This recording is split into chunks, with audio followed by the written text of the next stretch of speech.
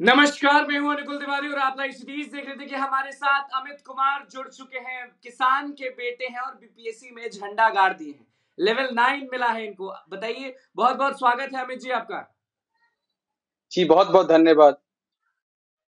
बताइए किसान का बेटा बड़ा अफसर बन गया है। सबसे पहले बताइए कि कैसा लग रहा है आपको?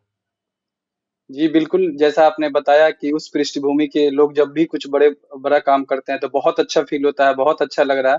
मैं इस खुशी को आपको शब्दों में बयान नहीं कर सकता हूँ। बहुत अच्छा लग रहा है मुझे। कहाँ के रहने वाले हैं अमित जी आप? जी मैं समस्तीपुर का रहने वाला हूँ। समस्तीपुर। समस्तीपुर के रहने वाले हैं। तो अपना पढ़ाई आप कहाँ किए? बड़ा अफसर बनने के लिए हर चीज़ आप जर्नी जानना चाहता हूँ मैं। जी आ, मेरा जर्नी स्टार्ट हुआ है मेरे अपने होम डिस्ट्रिक्ट से। मैं टेंथ और ट्वेल्थ तक की पढ़ाई अपने जिला समस्तीपुर से किया हूँ।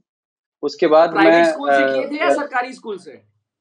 जी मैं सरकारी स्कूल से पढ़ा था। सरकारी स्कूल से पढ़े थे? जी सरकारी स्कूल से पढ़ा हूँ। जी मतलब कि पढ़ाई अच्छी होती है कि नहीं सरकारी स्कूल में? जी बिल्कुल जब आपके पढ़ पढ़ने के अं, आपके अंदर जब पढ़ने का ललक हो तो पढ़ाई कहीं भी हो सकती है और आप बिल्कुल सही कह रहे हैं कि आपने पढ़ाई सरकारी स्कूल से किया और इस चीज़ पे अब ज़ोर दे रहे हैं तो बिल्कुल इसमें कुछ खास होगा। मैं समझ सकता हूँ मैं सरकारी स्कूल से ही पढ़ा हूँ अपने होम डिस्ट्रिक्ट में आर स्कूल हाई स्कूल है वहाँ से मैं पढ़ाई किया हूँ। तो ट्वेल्थ के बाद आप कहाँ चले गए? कॉलेजेस में ट्वेल्थ के मतलब बाद सर ट्वेल्थ के बाद मैं ए आई ट्रिपल ई वगैरह और आईआईटी का फिर एग्ज़ाम दिया तो मेरा हो गया उसमें सिलेक्शन तो मैं उसके बाद आईआईटी के आईआईटी यूनिवर्सिटी भुवनेश्वर से बीटेक किया हूँ इलेक्ट्रिकल एंड इलेक्ट्रॉनिक्स इंजीनियर में। मतलब इंजीनियर है उसके जी जी सर इंजीनियर हूँ जी इंजीनियर तो के आई टी कहाँ आपने बताया?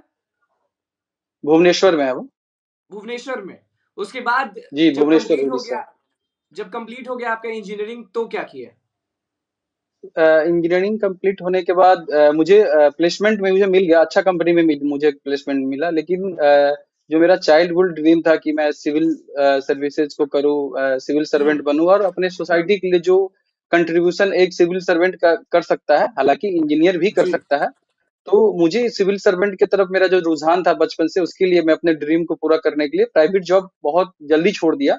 उसके बाद मैं सिविल सर्विसेज़ का प्रिपरेशन काफ़ी समय से कर रहा था और रिज़ल्ट आपके सामने है। इंजीनियर बन गए थे तो खुश नहीं थे?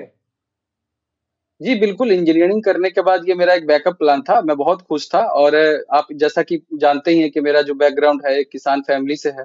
तो यूपीएससी की जो जर्नी होती है काफ़ी उतार चढ़ाव वाली होती है कि अप्स एंड डाउन बहुत सारा आता है इसमें।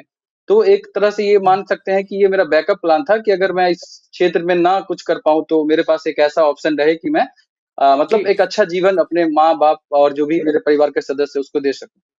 तो ये बताइए कि बहुत बड़े किसान के पुत्र हैं या छोटे किसान के पुत्र हैं? ये सवाल जी बिल्कुल मैं छोटे किसान का पुत्र हूँ। जी ये सवाल इसलिए किया क्योंकि जब आप इलेवन ट्वेल्व में थे तो कुछ ना कुछ आप अलग देखे ज़रूर होंगे अपने परिवार के हालात को। जी बिल्कुल। जैसा कि आप पूछ रहे हैं तो मैं बताऊँ। जो मेरा बैकग्राउंड है उस बैकग्राउंड से शायद मैं अपने मतलब जो मेरा इलाका है जो मेरा गाँव है जो मेरा प्रखंड है उसके मैं शायद पहले अधिकारी हूँ। और उस बैकग्राउंड में मैं बहुत सारा ऐसा कठिनाइयों को देखा। जिस मैं अपने आसपास का जो मेरा प्रखंड है उसके मैं पहले अधिकारी हूँ। तो उसमें मैं जैसा कि आप बता रहे थे बिल्कुल मैं बचपन से ही देखा आसपास के लोगों का किसानों की समस्या को मैं बहुत नजदीकी से देखा हूँ क्योंकि मेरे पिताजी भी एक किसान है तो वो मैं फील करता था कि इनके जीवन में क्या क्या समस्या है और भी मेरे समाज के जो लोग हैं उनके बीच में क्या क्या कठिनाई है कैसे मतलब कभी, एक कभी एक पैसा के लिए कितना उनको मेहनत खेती करने? जी जी बिल्कुल मैं गया हूँ बहुत बार गया हूँ अपने पिताजी के साथ। बिल्कुल चलाया हूँ। आप आप मेरे घर पे आइए मेरे पिताजी का इंटरव्यू लिए वो आपको बहुत अच्छे से बताएँगे। मैं अपने लफ्जों में क्या कहूँ आपको? लेकिन अमित जी ने कुदाल भी चलाया इंजीनियरिंग भी किया और अब बड़का अफसर बन गए हैं बड़े अफसर बन गए जी सर इसके लिए बहुत बहुत है मतलब धन्यवाद आपको।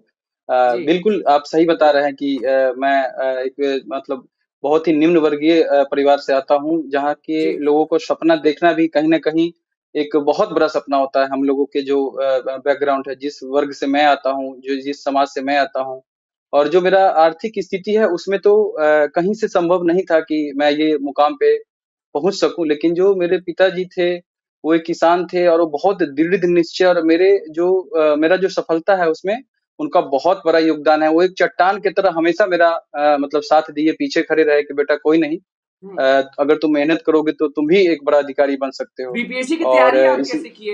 इंजीनियरिंग छोड़ने के बाद बीपीएससी की तैयारी आप कहाँ की और कैसे किए? जी सर इंजीनियरिंग छोड़ने के बाद मैं पहले तो कुछ दिनों तक सेल्फ स्टडी ही किया और मैं स्टार्टिंग अपना सेल्फ स्टडी से ही स्टार्ट किया। जी। उसके बाद मैं कुछ टेस्ट सीरीज़ वगैरह कुछ इंस्टीट्यूट में और जीएस वगैरह का टेस्ट सीरीज़ ऑप्शनल वगैरह का टेस्ट सीरीज़ अच्छा। लगाया और इस तैयारी में जो सर सबसे बड़ा योगदान है वो मेरे एक सर हैं अमित पांडे सर। अ, वो वो इस तैयारी में प्रीलिम्स से लेके और इंटरव्यू तक मतलब मैं जो आज हूँ ये कह सकते हैं कि जो मेरे गुरु जी हैं वो श्री अमित पांडे जी हैं उनके वजह से हूँ। पिताजी और माताजी का तो आप जानते ही हर किसी व्यक्ति के जीवन में तो, तो होता ही है जो मेन तो रोल मॉडल होता है दिल्ली दिल्ली निकल गए? जी भुवनेश्वर के बाद मैं इनिशियली कुछ दिन तक घर पे सेल्फ स्टडी किया तो आप जानते ही हैं कि जो मेरा गाँव है वहाँ बहुत सारा बेसिक फैसिलिटी गाँव है तो अभी तो नहीं ही था। तो उस चीज़ के लिए जब मुझे फील हुआ कि मैं दिल्ली चल के जी उतना नहीं है तो मुझे कुछ चीज़ें वैसा चाहिए था जो सिविल सर्विसेज़ के लिए ज़रूरी था। तो मैं दिल्ली की तरफ़ रुख किया और फिर दिल्ली ही में रह के तैयारी करा। अभी दिल्ली में रह के तैयारी कर रहे हैं।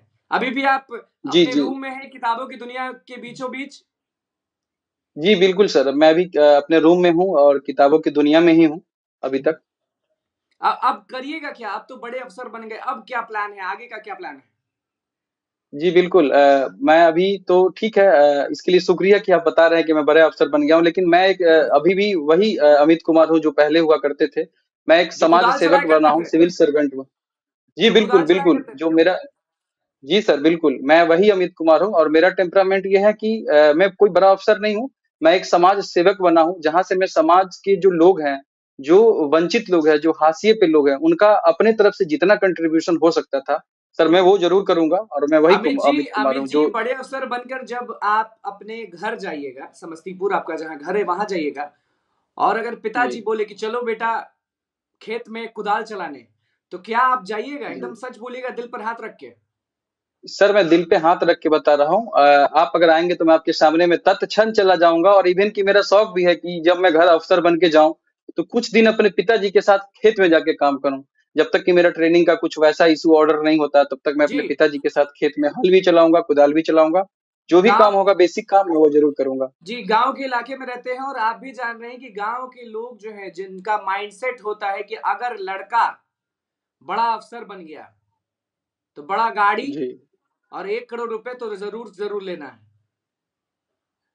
जी बिल्कुल जैसा माइंडसेट चल रहा है समाज में उसके अकॉर्डिंग आप बिल्कुल सही बात कर रहे हैं लेकिन मैं आपको विश्वास दिलाऊं हालाँकि मैं ये विश्वास दिला सकता हूँ आपको इस पे विश्वास करना पड़ेगा इसका कोई ठोस सबूत तो मेरे पास अभी है नहीं। वो तो जब मैं करूँगा तो आप जानेंगे कि इन इन सब चीज़ों में मेरा कोई रुचि नहीं है कि मैं एक करोड़ रुपया लूँ बड़ा गाड़ी चढ़ूँगा मेरे पास बहुत बड़ा बंगला हो।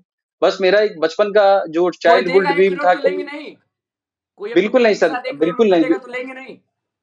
बिल्कुल नहीं सर जब भी मुझे शादी की इच्छा होगी तो मैं एक इंसान से शादी करूँगा बहुत नेक इंसान से शादी करूँगा अच्छे इंसान से शादी करूँगा पैसा से शादी नहीं करूँगा सर बिल्कुल नहीं करूँगा।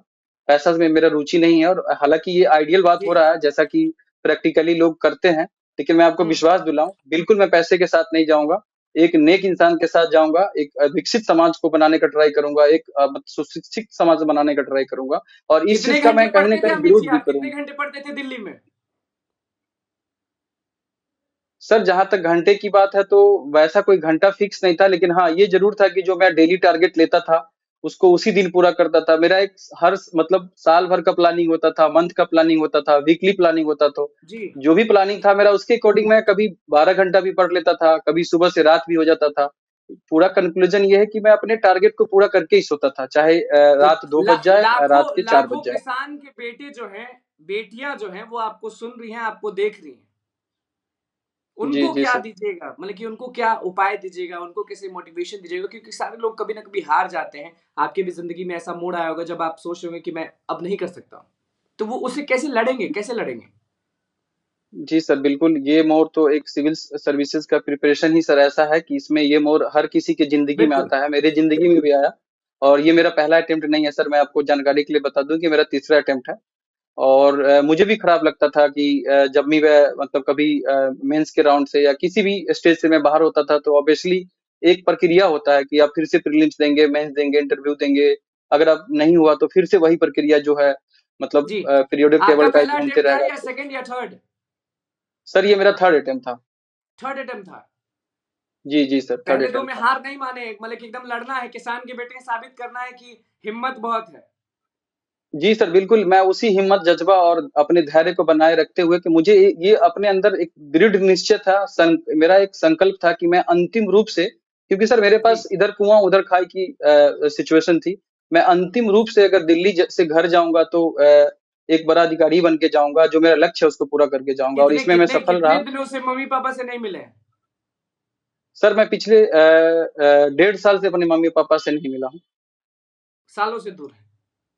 जी जी सालों से दूर है क्या मैं अपने लेके मम्मी जा रहे हैं? क्या लेके जा रहे हैं अपनी माता पिता के लिए? अभी घर जाएँगे तो। अ, सर एक्चुअली माता पिता के लिए अ, यही लेके जा रहा हूँ कि मैं अ, जिस उद्देश्य और उनके संकल्प को लेके आया था कि मेरा बेटा एक दिन कामयाब होगा वो कामयाबी को लेके सर मैं जा रहा हूँ। चलिए अमित जी बहुत लोग आपको देख रहे हैं जाते जाते कुछ बोलना चाहेंगे उनको? जी बिल्कुल सर अ, मैं एक अ, जो अब मेरे यूथ हैं जो मेरे एस्पेरेंट्स हैं सिविल सर्विसेज़ के उनके लिए मैं दो जी। बातें कहना चाहूँगा। पहला तो ये कि जीवन में अगर आप कोई भी चीज़ को दृढ़ संकल्प होके अपने जीवन में उसको धारण करेंगे कि मुझे ये लक्ष्य को पाना है तो कोई भी असंभव से असंभव लक्ष्य भी आप उसको संभव बना सकते हैं। आपके अंदर बस धैर्य होना चाहिए और आप धैर्य बनाए रखिए कठोर परिश्रम कर कीजिए और भगवान जो भी आपके हैं अल्लाह है भगवान है ईसा मसीह है उस पर भरोसा कीजिए आप ज़रूर सफल होंगे। लेवल लेवल नाइन मिला है अपना रैंक प्लीज़ बता दें लोगों को।